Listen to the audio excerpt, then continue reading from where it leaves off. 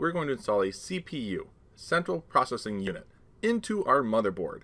Here is an exercise that is not commonly done in the classroom. We're going to take a CPU, like this chip here, and we're going to install it into our motherboard slot.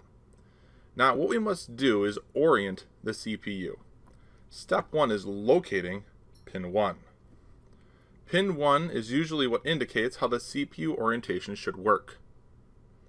We have a triangle which we'll be able to see right here. Let me zoom in. And this triangle is what's going to inform us of the alignment of pin 1. Now, if we go to our motherboard and we open up our motherboard slot, if we look closely, what we'll be able to see here as well is that same triangle marking. And that triangle marking is right here, which shows us the orientation for our CPU. Now, our CPU also has a keyed slot on it, and on the CPU on the motherboard housing, you'll also be able to see here that we'll be dropping the CPU, and there's keyed slots to ensure that it's correctly aligned. Now that we know how it should be aligned, step two is to safely lower the CPU into the CPU slot.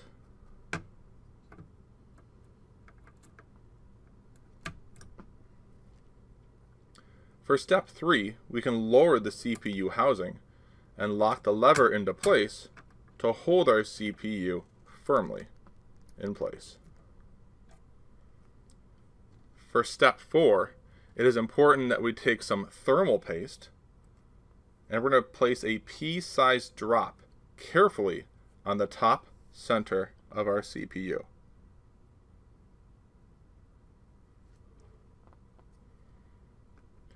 This thermal paste will help the distribution of heat from the CPU to the heatsink that we will install next. Now to keep this CPU cool and prevent it from overheating, we are going to install a heatsink for step 5.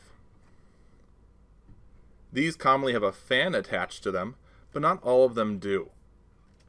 These fins we see here are going to absorb the heat from the CPU and have slots for airflow to move in between.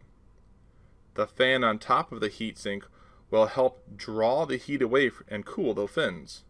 This will allow them to absorb more heat from the CPU.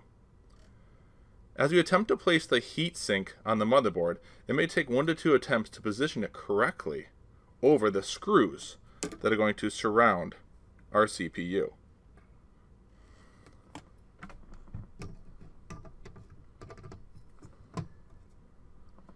The final step, step 6, is to screw down the heatsink.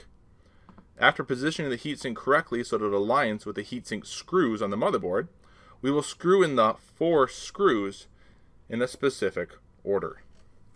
It is best to screw one corner first and then go to the opposite corner diagonally from it. This will help ensure we have a flush connection between the CPU and thermal paste and the heatsink.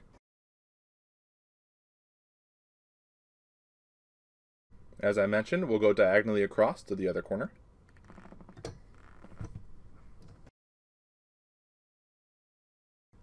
Now we can continue on the last two screws.